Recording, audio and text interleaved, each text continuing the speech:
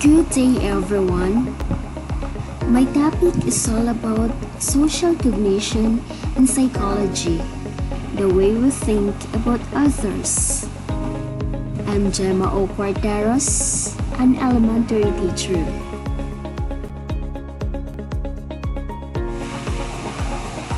What is social cognition? How exactly do psychologists define social cognition?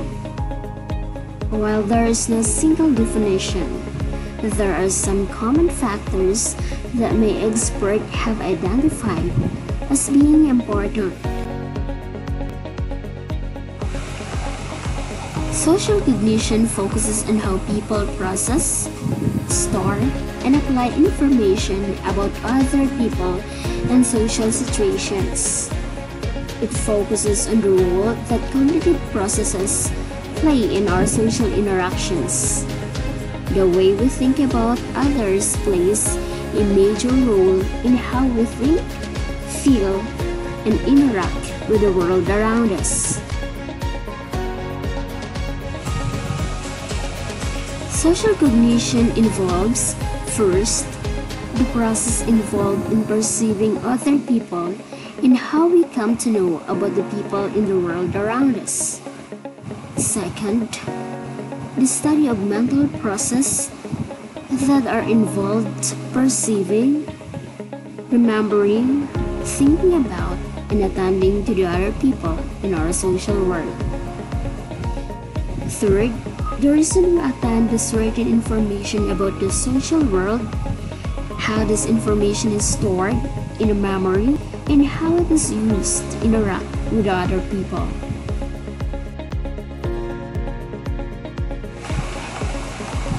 One of the example is Imagine that you are getting ready to go on a blind date.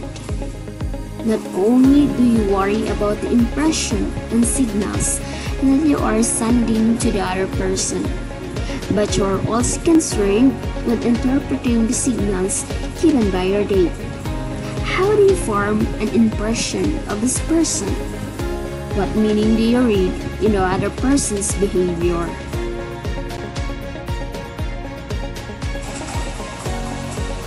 This is just one example of how people cognition influences a single social interaction.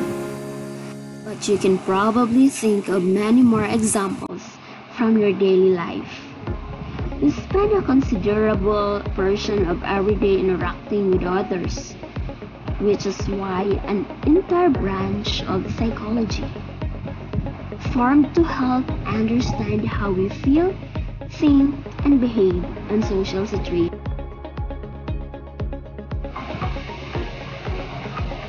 We come now to the development. Social cognition develops in childhood and adolescence.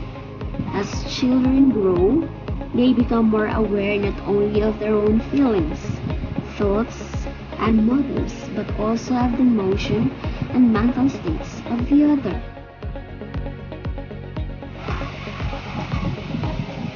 Children become more adept of understanding how others feel, learning how to respond in social situations, engaging in pro-social behaviors, and taking the perspective of others.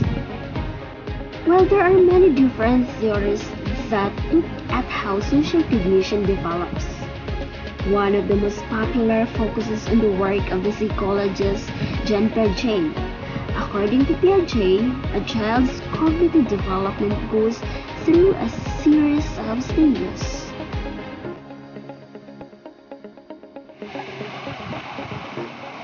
During the earliest stages of development, children are very egocentric.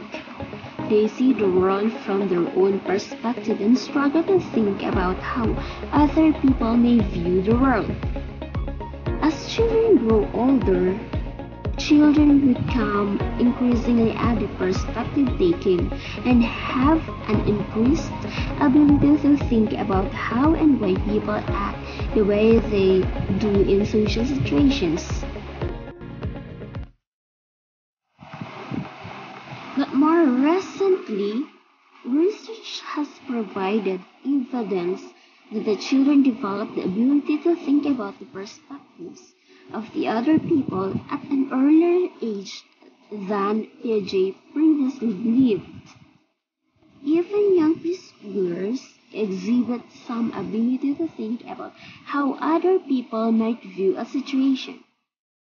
One of the most important developments in the emergence of social cognition is the growth of a theory of mind. A theory of mind to a person's ability to understand and think about the mental states of other people. It is the emergence of the theory of mind that is critical to being able to consider the thoughts, motives, desires, needs, feelings, and experiences that the other people may have.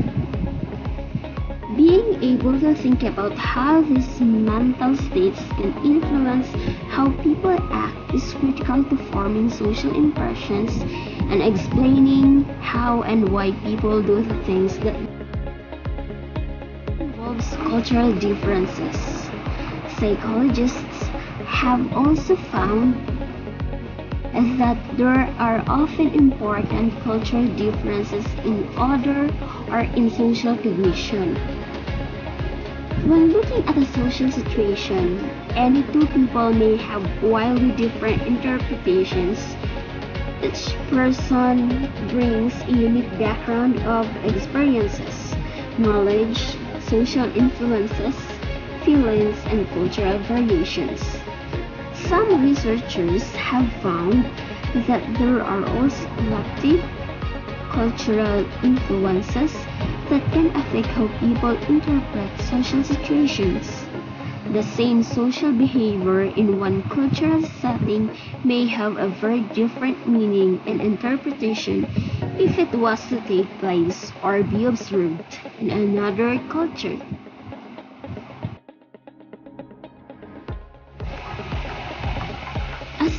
Interpret behavior, extract meaning from the interaction, and then act based upon their beliefs about the situation, they are then further reinforcing and reproducing the cultural norms that influence their, so- their social cognitions.